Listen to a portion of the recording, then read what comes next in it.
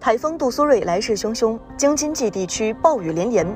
北京周边的水位不断上涨，房山门头沟的降雨量直接超过了2012年的7.21特大暴雨。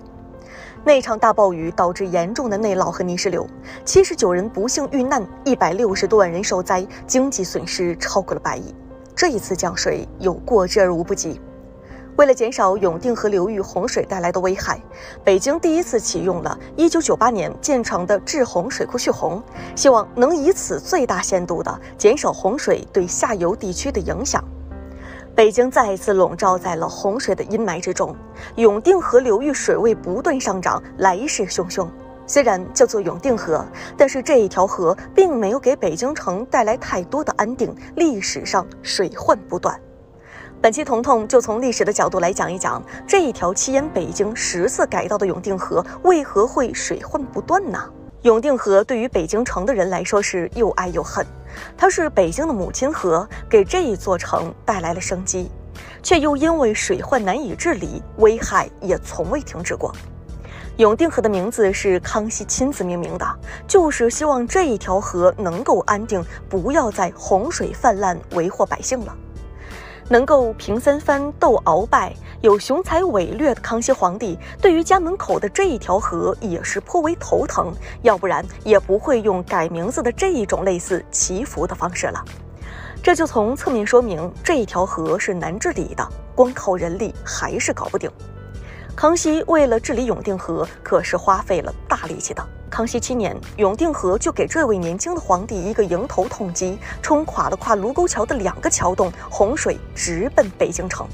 宣武门前的商贩直接被洪水给带走了，积水深达了五尺，涣散一下大概有一米六。康熙特意登上了午门，看到三分之一的北京城被淹了，让他痛心疾首，所以改名为永定，希望不要再洪水泛滥了。那么永定河为什么会难治理？从它的小名小黄河就能够看得出来。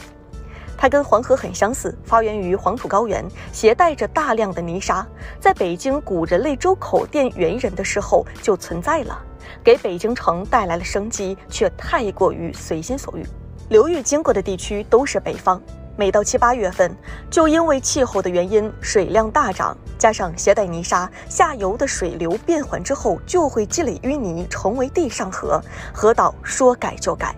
因为过于随心所欲，百姓都喜欢叫它无定河。那么永定河的水患到底有多么的频繁呢？从金代一直到新中国成立之前，长达八百三十四年的记载里，光是决口漫溢就有一百四十六次，改道更是高达了十次，平均下来，相当于每五年就会发生一次洪灾，确实是祸患不断，任哪一个皇帝坐镇都会头痛不已的。